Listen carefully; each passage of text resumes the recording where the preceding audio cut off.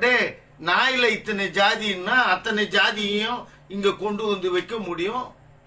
எவனையும் பார்த்து இது என்ன ஜாதி காட்டுனாலும் காட்டுவான். புல்டாக காட்டுன்னா காட்டுவான் அல்சேஷனை காட்டுன்னா காட்டுவான் கோம்பைய காட்டுன்னா காட்டுவான். ஆனா எல்லா ஜாதி மனுஷனையும் நிறுத்திக்கல இதுல எவன் மேல் ஜாதி எவன் கீழ் ஜாதி இதுல எவன் பார்ப்பான் எவன் பறையன் எவன் பறைச்சி அப்படின்னு எவனாவது ஒரு சாய்பியோ ஒரு வெள்ளைக்காரனையோ கொண்டு வந்து கண்டுபிடிச்சி சொல்ல சொல்ல பார்ப்போம். ஆகவே ஜாதி என்றால் அதுக்கு ஒரு அடையாளம் இருந்தா தானே அவன் சொன்னா இவன் சொன்னான்னு சும்மா அடையாளம் வேண்டியதில்லை பிடிச்சதே சரி. அப்படின்னா எப்படி ஒத்துக்க முடியும்?